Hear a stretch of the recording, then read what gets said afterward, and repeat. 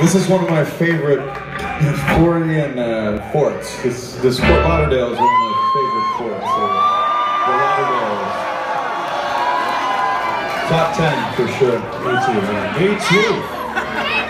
I, uh, I saw some of my favorite bands here about 15 years ago, actually, when I, when I was living here. And uh, it's fucking awesome to be able to come back and play to a packed house like this. So thank you for being here, everybody. He got his education here. Now look what it fucking got him. I, I, stay in school, kids. Half of nothing, man. Stay in school. We have a couple more songs for you. Thank you very much for coming out tonight.